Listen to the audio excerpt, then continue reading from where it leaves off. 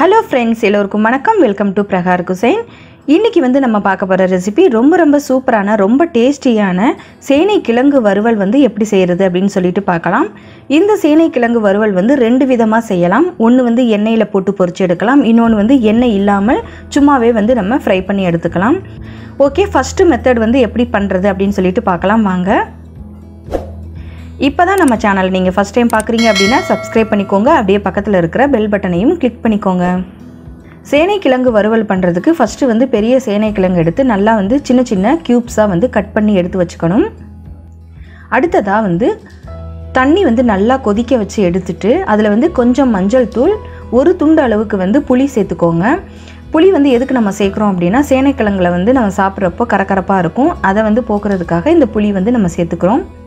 அடுத்ததாக கட் பண்ணி வச்சுருக்க சேனைக்கிழங்கு எல்லாம் சேர்த்து ரொம்ப நேரம் வேக விடக்கூடாது.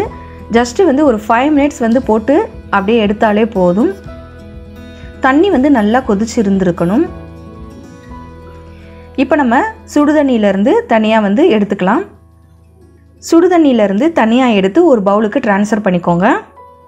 அதில் ஒரு ஸ்பூன் அளவுக்கு கொத்தமல்லி தூள் சேர்த்து ஒரு ஸ்பூன் அளவுக்கு மிளகாய் தூள் சேர்த்துக்கோங்க. ஒரு ஸ்பூன் வந்து மிளகு தூள் சேர்த்துக்கோங்க. கால் டீஸ்பூன் அளவுக்கு மஞ்சள் தூள். தேவையான அளவுக்கு உப்பு. கொஞ்சம் கரம் மசாலா தூள் சேர்த்து. தண்ணி வந்து ஊற்றி பிசையக்கூடாது. தண்ணி வந்து தெளிச்சு விட்டு பிசைஞ்சுக்கோங்க. ஓரளவுக்கு ட்ரையாக இருக்கிற மாதிரி பிசைஞ்சு வச்சுக்கோங்க.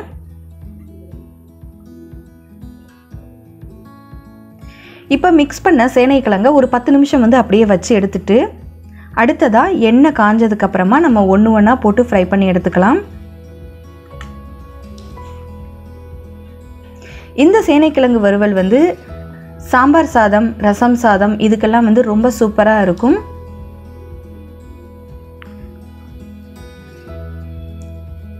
பொதுவாக இதை வந்து கல்யாண வீடுகளில் இந்த சேனைக்கிழங்கு வறுவல் வைப்பாங்க. ரொம்ப ரொம்ப டேஸ்ட்டாக இருக்கும். இந்த சேனைக்கிழங்கு வறுவல் வந்து நீங்களும் ஒரு தடவை இது மாதிரி வந்து செஞ்சு பாருங்கள் இப்போ நல்லா ஃப்ரை ஆனதுக்கப்புறமா நம்ம வந்து தனியாக எடுத்துக்கலாம்.